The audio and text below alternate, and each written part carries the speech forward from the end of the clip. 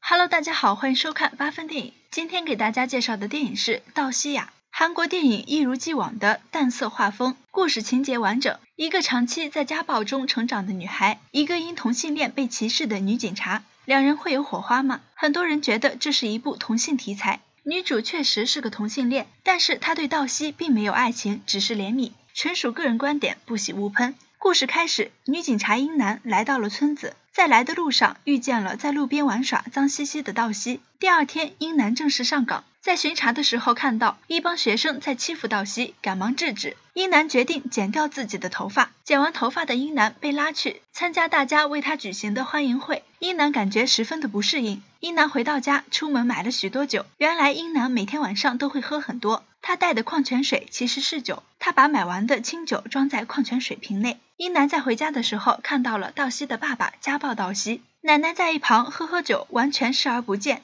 英男制止了他，还报了警。第二天，道西爸爸醒来就被放走了，而派出所的其他人并不以为然，认为只是道西爸爸喝多了，都是酒惹的祸。英男在回家的路上遇见了道西，把他带回家吃东西。送道西出门的时候，遇见了道西的奶奶，道西奶奶连打带骂，领走了道西。英男觉得自己无能为力。英男每天回到家都一直喝酒。忽然，道西来敲门，同时他也接到了电话，说道西的奶奶在河边死了。道西对英男说，是因为他爸爸打他，奶奶出来追，他害怕了，躲了起来。感觉他说的这些都是在推卸责任，并没有什么重点。警方判断是因为酗酒自己掉进海的，这件事就不了了之了。道西挨打，又来到英男家，英男看到他的伤痕，更加可怜他。英男问起道西妈妈，道西说，在妈妈离开的时候，问他要不要走，被拒绝了。道西就一直住在英男家，英男带他买衣服、郊游。道西越来越依赖英男，在看到英男洗澡，也顺势和英男一起洗。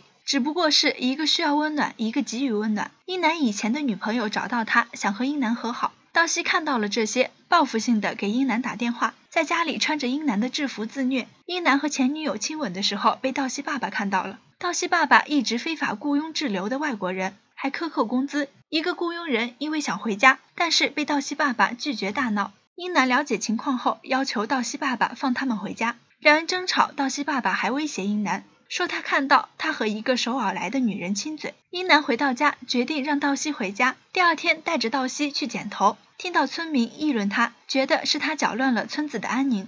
道西爸爸报警说，英男猥亵未成年人。